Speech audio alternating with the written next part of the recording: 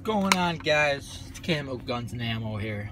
On the side of the road, this spot, the legend, by a cornfield.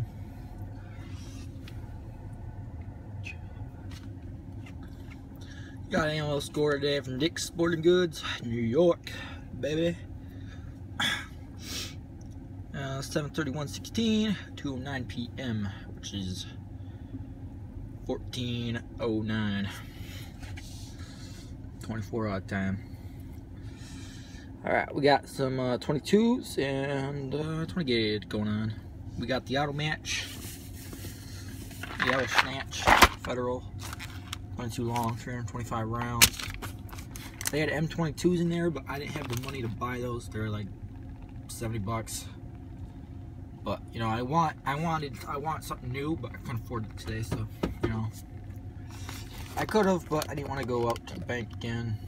Cut my thumb on a grinder. May have known that. Sealing up. That's a little bit rough here. Down Dick's, you gotta put it in a stick in anything behind the counter, you gotta put a case, you know. It's kind of bullshit. But it's alright. And it was uh, $25. Usual. Then we got 20 gauge, the stuff I saw last time.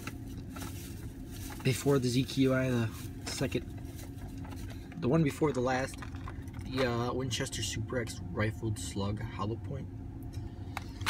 Picked up some of that again.